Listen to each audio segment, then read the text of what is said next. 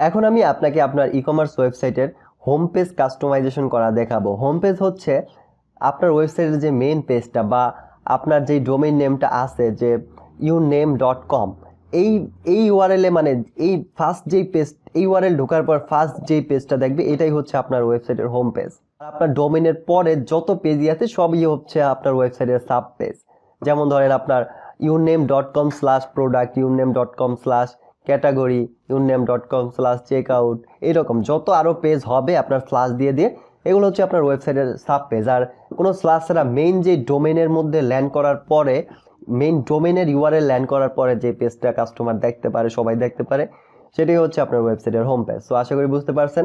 এখানে একটু খেয়াল করেন এইটা হচ্ছে এই ওয়েবসাইটের হোম পেজ আচ্ছা এখন এই হোম পেজের আরেকটা জিনিস একটু আপনার বোঝা দরকার কাস্টমাইজেশনে যাওয়ার আগে, সেটা হচ্ছে হোম পেজের সেকশনগুলা দেখেন, এই ওয়েবসাইটে কিন্তু একটা পেজের মধ্যে কিন্তু অনেকগুলা সেকশন থাকে।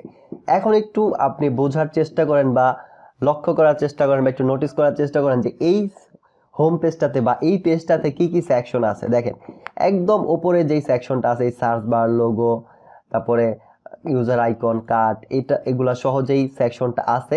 এটা হচ্ছে হেডার বা টপ ন্যাপ সেকশন ঠিক আছে? তারপরে হচ্ছে যেই সেকশনটা আছে ইমেজগুলো যে স্লাইড হইতে আছে, এইটা হচ্ছে স্লাইডার সেকশন বা ক্যারোসল সেকশন পর একটু নিচের দিকে দেখেন পপুলার ক্যাটাগরি নামে একটা সেকশন আছে, যেখানে ক্যাটাগরিগুলো ক্যারোসল হইতেছে। তারপরে দেখেন আরেকটা সেকশন আছে টু ডেজ অফার নামে একটা সেকশন আছে, যেখানে কিছু অফারের ইয়া আছে প্রোডাক্ট আছে। তারপরে দেখেন আরেকটু নিচে আছে, আরেকটা সেকশন আছে নিউ প্রোডাক্ট নামে একটা সেকশন আছে। তারপরে দেখেন আরেকটা সেকশন আছে টপ সেলস প্রোডাক্ট নামে একটা সেকশন আছে।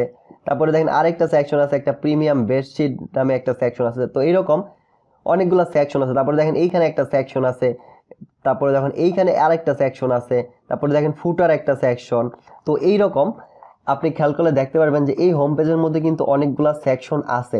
একটা সেকশন দুইটা সরি ক্লিক করে ফেলাইছি।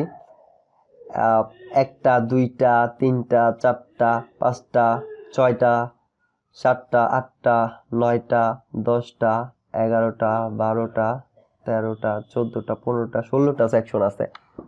এই হোম পেজের মধ্যে আমরা দেখলাম ষোলোটা সেকশন আছে। সো একটা ওয়েবসাইটে যে কোনো সেকশন থাকতে পারে। মানে আই মিন ষোলোটাই থাকতে হবে এরকম না।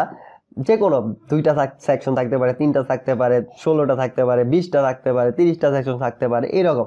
প্রয়োজন অনুযায়ী যে কোনো সেকশন থাকতে পারে। আমার মূল উদ্দেশ্য ছিল আপনাকে সেকশনগুলো বোঝানো।